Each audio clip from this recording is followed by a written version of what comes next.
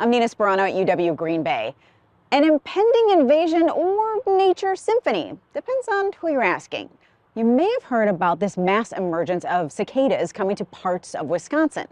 So if you're planning on braving one of these emergence zones, here's a few things you need to know. Hear that?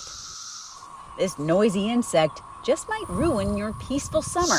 Two broods of periodical cicadas will emerge at the same time, something that hasn't happened in 221 years before Wisconsin was even a state. What we're having here is there's two different two different broods, and it just so happens that this year, two of those broods, a 13 and a 17 year brood, are emerging at the same year. That's Michael Draney, a professor of biology at UW Green Bay. You can get more than a million of them emerging on an acre of land. So you can easily have thousands and thousands of them in your backyard if, if you're in the right spot.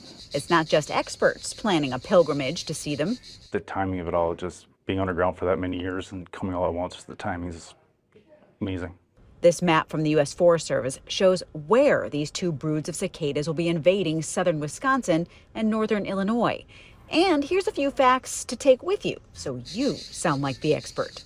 The mass emergence is a survival strategy to outnumber predators. Cicadas don't actually fly around, they coat trees and vegetation. The loud buzzing can reach over 90 decibels. They are a potential risk to young trees and pets. Cicadas' crunchy shell can actually block a dog's digestive system. And cicadas are considered harmless to humans, but Professor Draney has one warning for you.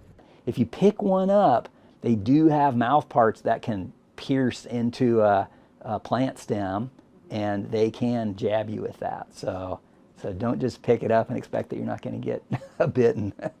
So if you're wondering just how loud, 60 decibels is about the level of a conversation.